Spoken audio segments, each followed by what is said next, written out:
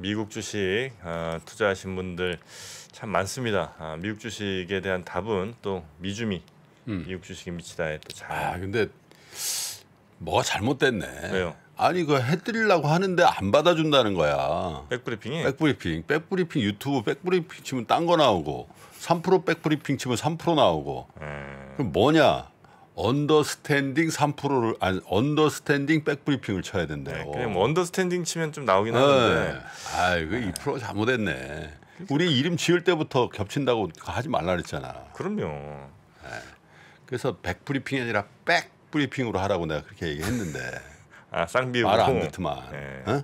그지? 여튼 이제 나중에는 뭐 어, 백브리핑 검색하면 또 나오실 수 있. 어쨌든 음. 지금까지는 지금 어쨌든. 언더스탠딩 백브리핑을 치시면 된답니다. 그렇게 힘들게 누구 그러니까. 실 수가 없다는 거예요. 아, 또 불편해. 아니면 그냥 3% 들어가셔서 채널 3%에 아, 딱뭐 보면 그런 오른쪽 위에 있죠. 보면 네. 채널이 있거든. 그렇습니다. 거기 보면 저 3%하고 같이 일하는 분들 쫙 나오니까 네 맞습니다. 딱 하시면 되죠. 거기 있는 거 다 구독 눌러주시면 아, 어제 어제 밤, 한데. 네. 밤에도 같이 있었는데 나보르더라고. 아유 좀 도와줘요. 아, 도와드리고 싶죠 저희야. 네. 자 그러면 오늘 네. 아침 아, 뉴스 3부터 먼저 시작하도록 네. 하겠습니다.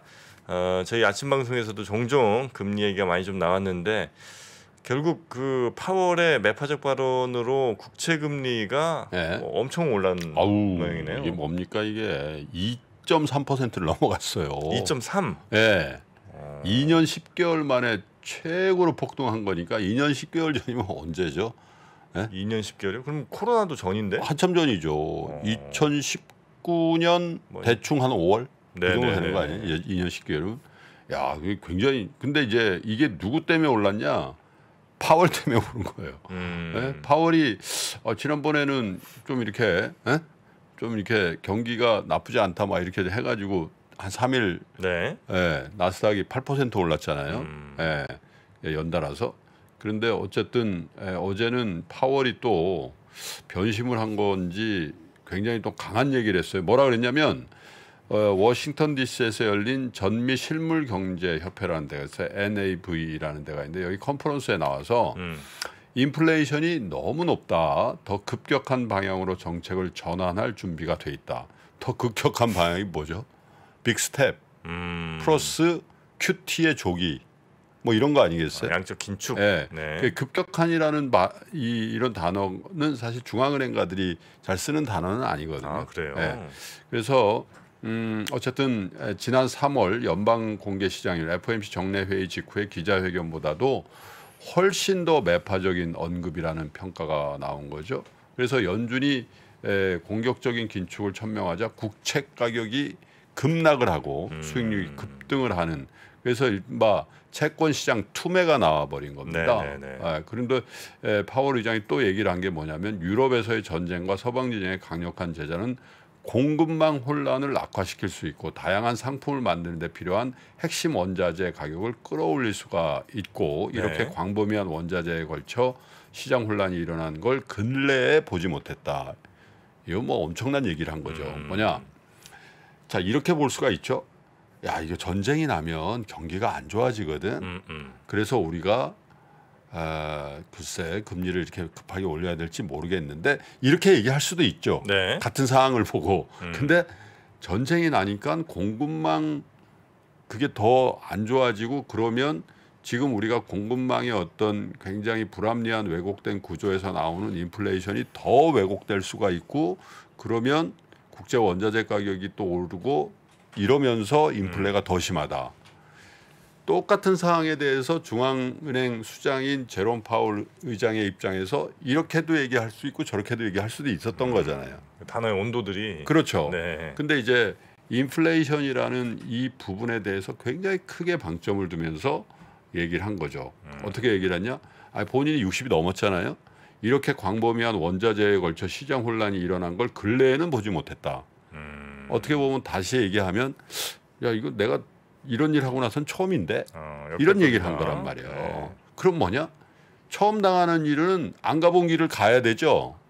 대응도 네, 네. 그게 뭐냐? 빅스텝과 큐티 이런 거 빨리 해야 된다라는 얘기로 어, 들렸다는 거죠. 그러면 이제 아 지금까지 여섯 차례 더 올리는데 그냥 0.25씩 아 한 번 회의할 때마다 딱 딱 떨어지네. 음, 음. 2022년은 0.25씩 회의할 때마다 한 번씩 올리면 아이 그뭐 그것도 부담스럽지만 그냥 평탄하게 이렇게 가는 거야. 네네. 이렇게 생각하고 월스트리트에서는 야 이거 다 악재 노출됐네. 그리고 제롬 파월이 장을 무너뜨리면서까지 뭐 이렇게까지는 안 할 거야. 이런 생각으로 금, 주식이 올랐던 거잖아요. 네. 예, 그리고 채권 금리도 어느 정도까지는 그냥 진정이 됐던 건데 예, 이런 얘기를 하다 보니까 예, 국채가 일단 크게 올랐습니다. 이 말 다음에 오후 들어서 폭등하면서 장중에 에, 2년물이 2년물이 이제 대표적인 이제 단기 금리라고 그러잖아요. 에, 미국의 정책 금리 기준 금리를 올리면 바로 연동해서 올리는데 이게 2.12까지 오른 거예요. 어. 예, 2019년 6월 초 이래로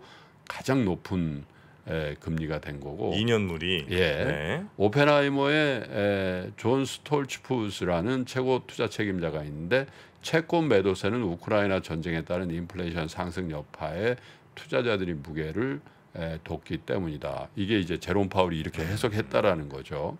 그런데 여기서 우리가 그 금리를 보면서 조금 더 걱정스럽게 보는 거는 국채 금리가 10년짜리도 폭등하고 10년짜리가 아까 뭐라 그랬습니까? 2.3 삼. 네. 넘어갔다 그랬는데 같이 올랐는데 2년물이 더 많이 오른 거예요. 음. 그러면 우리가 그 스프레드라고 하죠. 2년물과 10년물의 예, 스프레드 차이. 금리 차이가 18bp 안팎으로 좁혀진 겁니다. 네. 그러니까 0.18. 음. 예, 이거는 2020년 3월 초 이후에 가장 붙어 있는 거예요. 음. 예. 그러니까 2020년 3월 초라는 건 뭡니까? 와 경기 박살 난다 그래서 장기 금리가 그냥 쭉 음. 빠진 거잖아요. 네. 예, 그때 이후로 가장 이제 붙어 있는 상황이죠. 그러면 이 예, 장기 금리인 10년물 금리와 단기 금리의 대표격인 2년물 금리가 붙었다. 음. 혹은 역전됐다. 그러면 무슨 얘기 나온다 그랬죠? R의 공포, recession, 예, 네. 예, 경기 침체 이런 거가 이제 예, 다음이고 그런데 인플레이션을 걱정하면서 나타났다. 그러면 또 무슨 용어가 나오죠? 스태그플레이션 아. 이렇게 나온다는 거죠. 그래서 에, 어쨌든 이 수익률 채권 수익률 그 yield curve라고 하는 게 에, 만기가 긴 거는 이제 높고 만기가 짧은 거는 낮아야 되는 게 이제 음. 당연한 평상시에는 당연한 건데 이걸 이제 평평한 상태가 되는 거를 채권 시장 전문가들은 flattening이다. yield curve flattening이라고 해요. 네. 예. 근데 이 반대로 이게 격차가 확 벌어지는 거를 yield curve steepening이라고 하고 네, 네, 그냥 네. 이제 그 상식적으로 알아두시면 좋습니다. 뭐 예를 들면 뭐 그 정프로가 어디 가서 막 채권 금리에다 아 요즘 아, 미국 경제가 걱정이야 너무 flattening돼 제가 그런 얘기할 일은 없습니다. 아 이렇게 한번 해봐 그럼 사람들이 깜짝 놀라지 예? 그렇다는 거예요. flattening. 예, 네. flattening, steepening. 그래서 음. 이거는 항상 말씀드리지만 에, 장기 금리가 이렇게 떨어진다는 거는 미국의 장기 경제 성장률에 대한 전망치를 낮춘다라는 그런 의미고 단기 금리가 치오른다는 거는 에, 그 미국의 기업들의 또 가계의 비용 구조가 올라간다는 측면이니까 경기에는 굉장히 좋지 않은 게 에, 사실입니다. 얼마나 이게 이런 플래트닝의 에, 상황이 계속 될지에 따라서 미국 경기를 보는 에, 월가의 시각도 조정이 될 가능성이 있다 이렇게 보는 거고 에, 제롬 파월이 이렇게 얘기했다라는 건 다음 FOMC에서는 0.5% 포인트 인상, big step의 가능성을 활짝 열어놓은 네. 거다 이렇게 에, 평가를 할 수 있는 거죠. 그래서 에, 그 recession, 스태그플레이션 같은 용어를 에, 함부로 쓸 용어는 아닙니다만은 어쨌든 에, 금융시장에서는 에, 그런 용어를 자꾸 연상시킬 수 있는 그런 발언이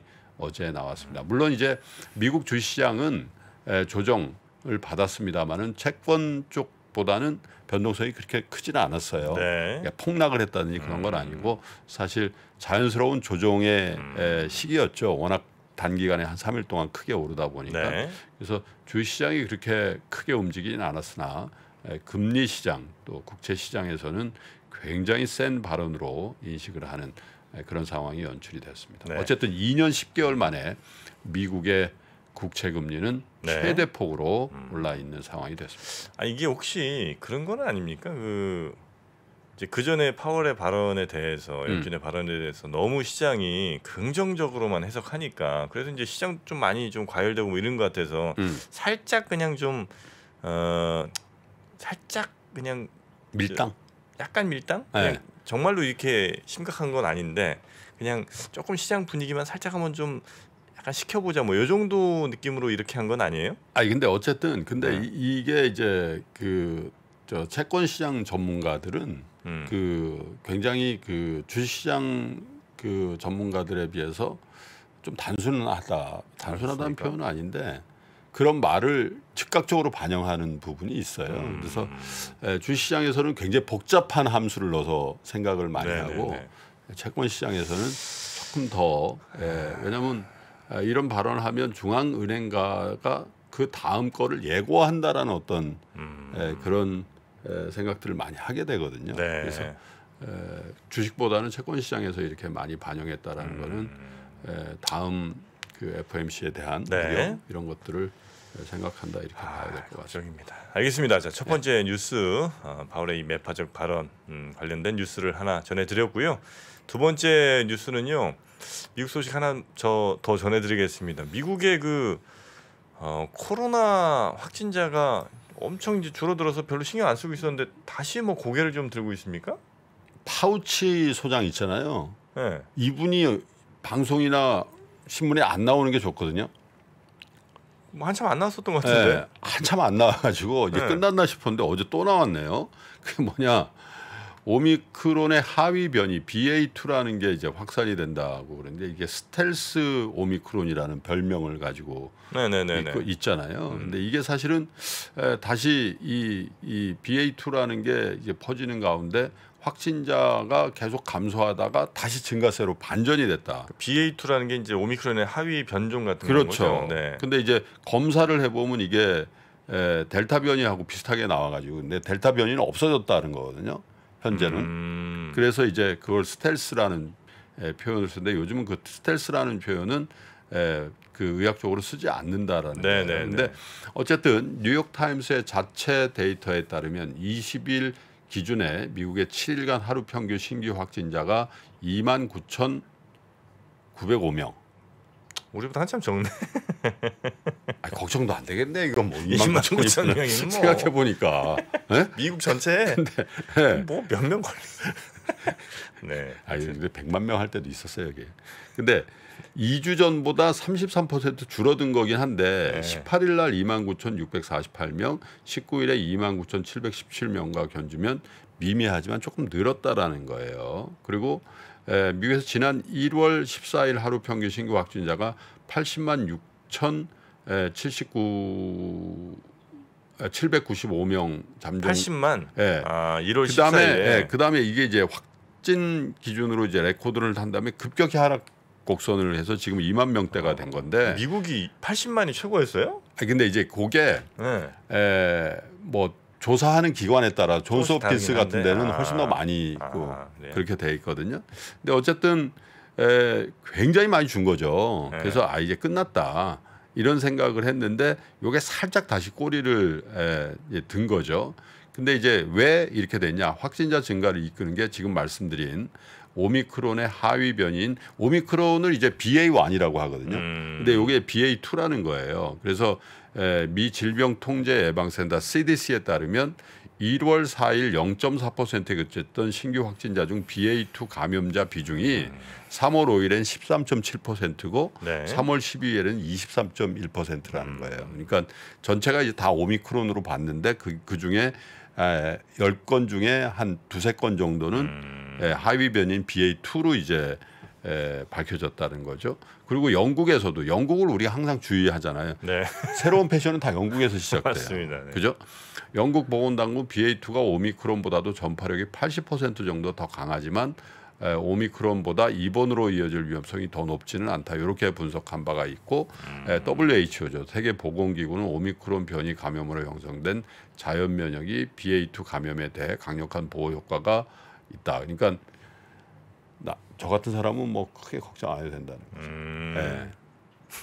예. 그래서 그런데 예, 이 이 뭡니까 앤서니 파우치 국립 알레르기 전염병 소, 전염 연구소 소, 소장이 뭐라 하냐면 에, 유럽 미국에서 유럽의 현재 확산세와 비슷한 코로나19 감염의 증가가 있을 것이라고 예상을 하며 아직 우리가 승리를 선언할 때가 전혀 아니다. 왜냐하면 이 바이러스는 전에도 우리를 속인 적이 있고 우리는 또 다른 변이가 나타날 가능성에 대해서 반드시 대비해야 되고 우리는 그것에 무방비 상태로 기습당하고 싶지 않다. 이렇게 얘기를 했어요. 근데 걱정이 이런 거죠. 우리나라 어제부터 미국을 비롯해 전 세계 이제 그 물론 이제 이 주사를 맞았는데 파키스탄 등을 제, 아, 대부분의 나라에 사람들 왔다 갔다. 하는 거 이제 자가격리 안 한단 말이죠. 네, 네, 네. 그래서 사실 자가격리에 대해서 이제 사람들이 이게 필요성에 대해서 생각도 별로 안 하는 것 같아요. 음.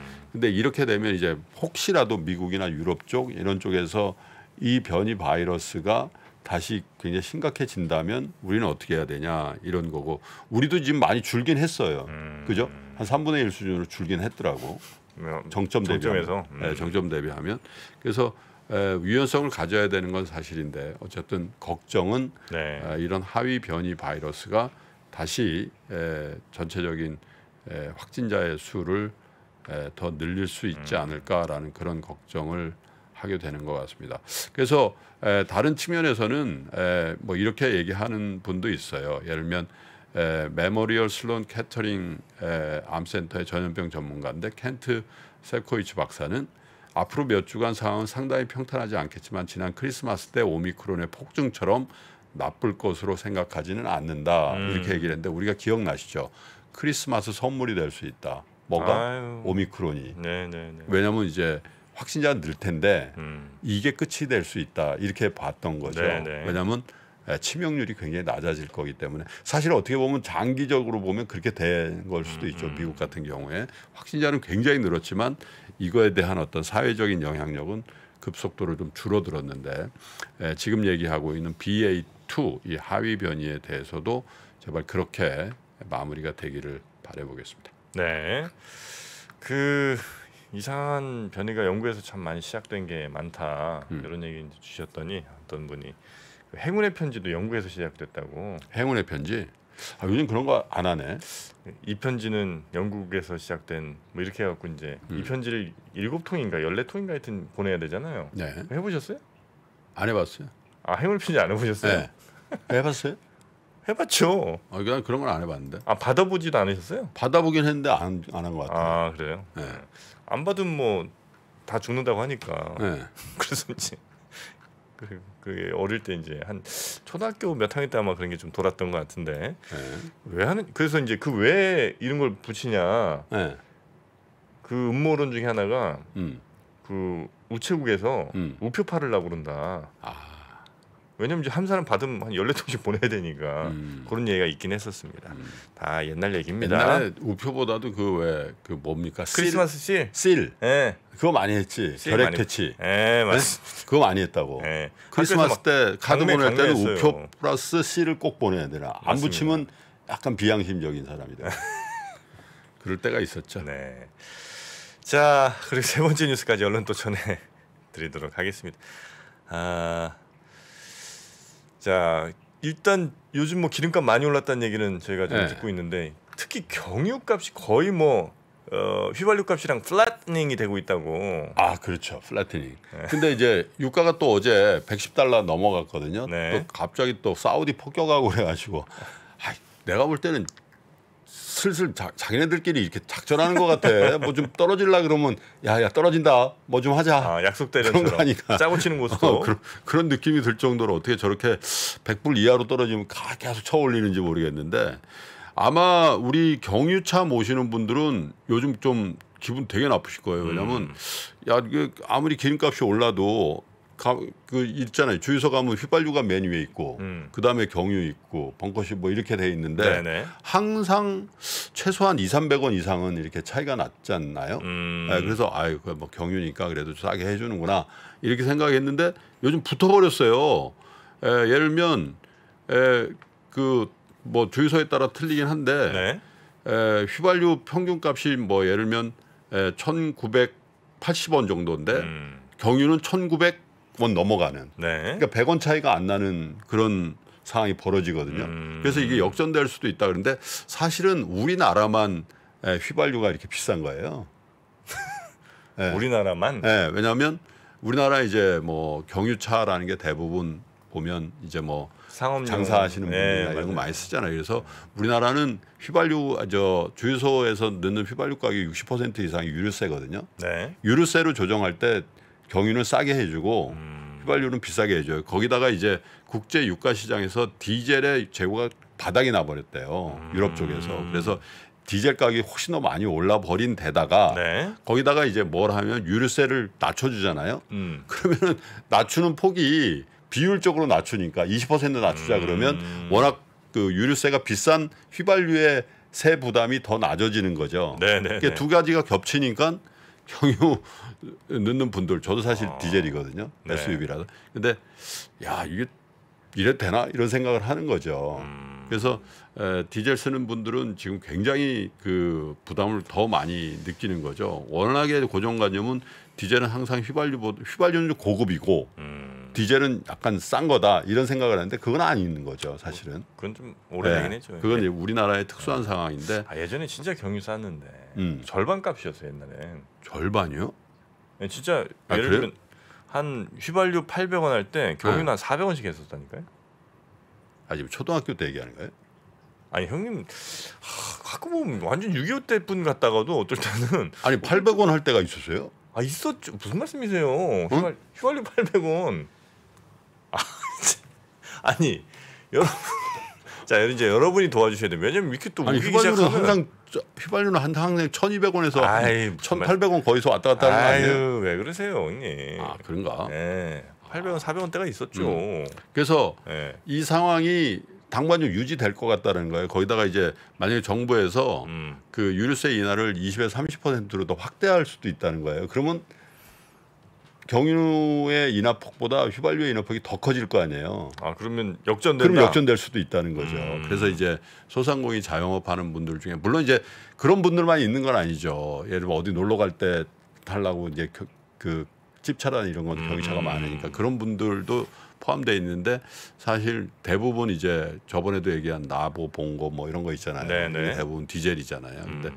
그런 분들의 그 비즈니스에도 상당히 그런 분들이 차를 많이 쓰시니까 음. 그래서 그런 분들이 있는데 어쨌든 이게 좀 특수한 상황이 벌어졌다 이런 얘기입니다. 그래서 디젤 쓰시는 분들은 조금 힘드시더라도 어쨌든 좀 참아 주셔야 될 것 같은데 글쎄요 이것도 여기서 조금 차별적으로 해달라고 하는 그런 목소리들도 있는 것 같은데 정부에서는 사실 세부담을 워낙 휘발유에 오랫동안 많이 음. 했기 때문에 그러기도 좀 쉽지 않은 그런 대목인 것 같습니다. 네. 자, 지금 뭐 90년대 휘발유 500원까지 나오고 있습니다. 네. 자, 2000년대 초반에 경유 400원이었다는데 그러니까요. 아, 형님 도대체 어디 갔다 오신 거예요? 아니 근데 주식은 이거밖에 안 올랐어. 경유 400원에서 지금 경유 아니 400원에서 2,000원 됐는데. 네네. 어? 갑자기 주식 얘기를 또 하세요. 네. 기름값만 올랐어 이거. 아, 주식도 한 4배 되지 않아요 지금? 네 배는 안 됐지. 어, 얼마예요? 2000년대 초반에 천 몇백 원, 천 몇백 아니었어요? 지수가? 아, 몰라요. 이제 이제 두 배 된 거예요. 네. 예. 좀더 올라가세요 좀. 네. 자 그러면 아, 저희 얼른 저 광고 듣고 하세요. 박병장 부장님 또 증언을 듣도록 하겠습니다. 디지털 세계에서는 사실 뭐랄까 소유권이라는 개념이 좀 음, 희박하잖아요. 네, 복사가 네. 너무 간편하니까 이거를 이제 보장해줄 수 있는 굉장히 신기술이다. 지구를 잘게 쪼개 땅을 사고 팔 수 있는 메타버스 플랫폼. 3만 원에 팔린 프랑스 에펠탑은 지금 170만 원이 됐습니다. 디지털 아티스트 비플의 한 작품이 지난달 팔린 가격은 787억 원. 그리고 게임 캐릭터 성형을 통해 월 천만 원을 버는 크리에이터의 등장까지 새롭게 펼쳐지는 세상에 대한 전망과 리스크를 담았습니다. 여러분도 메타 리치를 꿈꾸신다면 변화의 흐름에 올라타 보세요.